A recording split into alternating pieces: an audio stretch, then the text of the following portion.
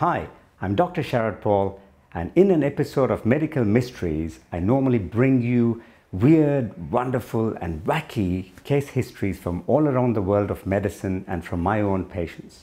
Actually, I first started thinking about these cases when I had a patient who came to see me the other day at my skin practice. You know, as you know, I've always said in medical practice that you can't have bad health and good skin, and your skin just reflects what's going on underneath. And I could have sworn that this patient was a heavy drinker. He had a rhinophymatous nose, rosacea. He really had drinker's skin, but he denied drinking a drop of alcohol. Can you actually get drunk without drinking a drop of alcohol? Can your body become its own brewery? That's what we're going to find out in the two stories I'm going to tell you today. Case number one an Italian American gentleman, 45 years old, obese with a BMI of 35, with a medical history of high blood pressure, high cholesterol, and diabetes. A few months earlier, he had undergone surgery for a deviated nasal septum, following which he was given some antibiotics.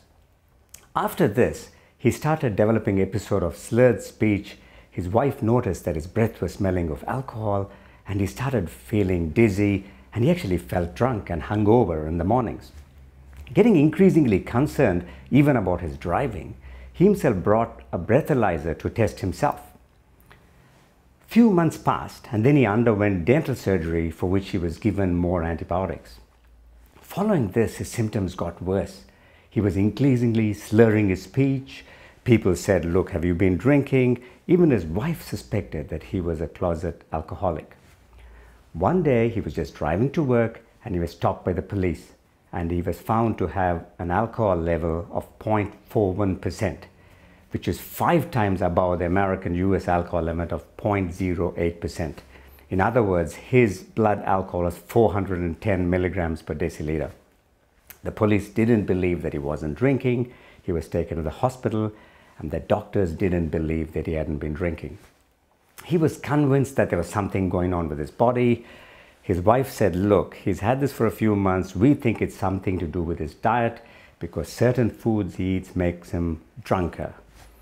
So he was actually put in a room, the doors were shut, and he was put on a carbohydrate challenge test. So people thought, let's just look at his diet and measure his blood alcohol levels. So the day went like this. In the morning, he had some beef empanadas couple of hours later, his blood alcohol was already above the legal level. In the afternoon, he had some chicken soup, which didn't actually push it up as much.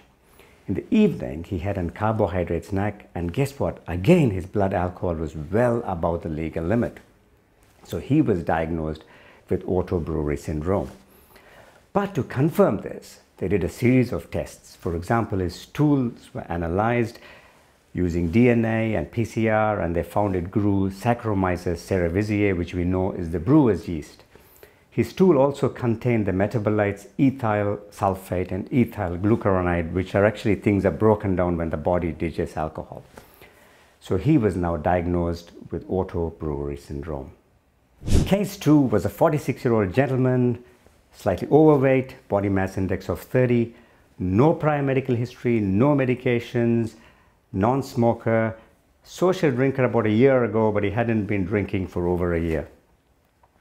It all started after he had a thumb injury. It was quite a complex injury of his thumb for which he needed antibiotics for quite a prolonged period. Following this, he said he started feeling foggy, depressed, didn't want to go to work, and he actually felt lousy, and he actually felt that it, like he had been drinking too much. He went to his doctor and his doctor said, look, you're depressed and referred him to a psychiatrist. And when he went to see the psychiatrist, as what psychiatrists do, he was put on some Prozac and lorazepam. Well, that's what all psychiatrists do, don't they? Anyway, he was still convinced that something was going on in his own body and he, was, he had read about auto brewery syndrome. So he went to an hospital where he had heard that doctors had treated a previous case. The doctors thought that, you know, his work, he worked as a roofer, repairing roofs after hurricanes, and they weren't convinced that it was an auto brewery syndrome. So what they thought was perhaps there were some toxins because he was repairing roofs after hurricanes, and what they found was they, they did a toxicology screen, and the screen was fine. they did an endoscopy and they found that his gut grew Saccharomyces cerevisiae, the brewer's yeast, and also Candida albicans, another type of yeast. So they considered that he may have autobrewery syndrome and they ran a carbohydrate challenge test. Again, he was put on diets high in carbohydrates and hours later his blood alcohol levels were measured. And lo and behold, he also had autobrewery syndrome.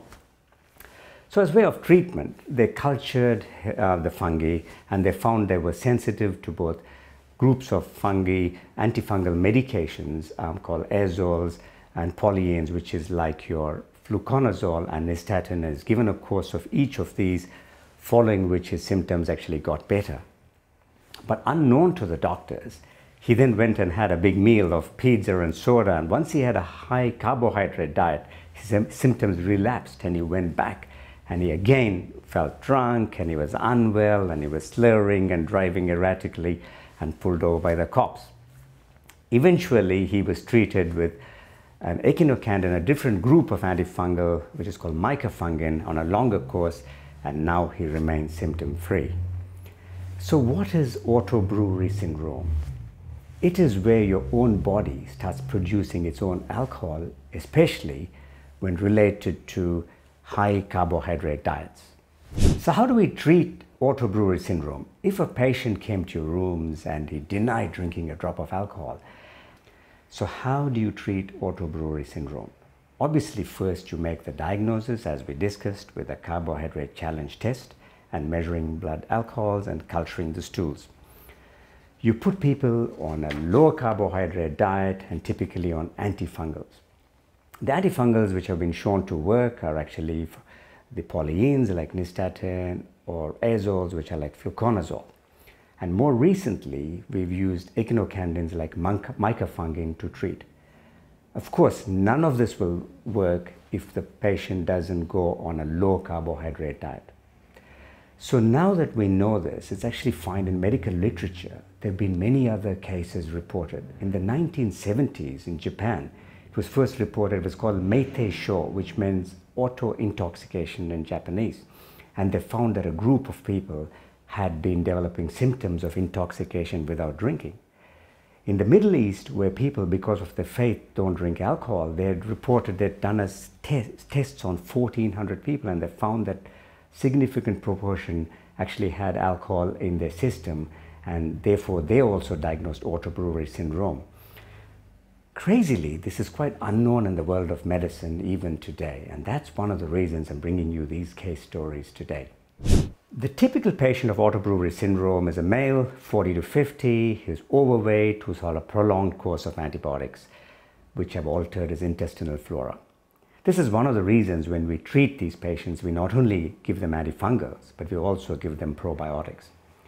But sometimes your intestinal flora may be altered from other conditions, secondary causes such as Crohn's disease causes strictures in your bowel, or you could have short gut syndrome where a part of your bowel has been removed for other reasons. And any of these things can actually cause you to have altered bowel flora and put you at higher risk of getting autobrewery syndrome.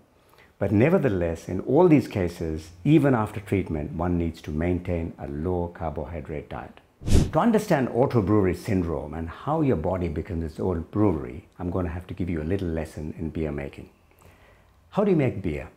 You take barley, you soak it overnight. Just as it starts to germinate, you stop it from sprouting by either air drying it or you want to roast it more when it's called more malting in the process, where it becomes a darker kind of a beer. So the beers that are formed by yeasts which ferment at the top are your ales, and the yeasts which ferment at the bottom make your lagers.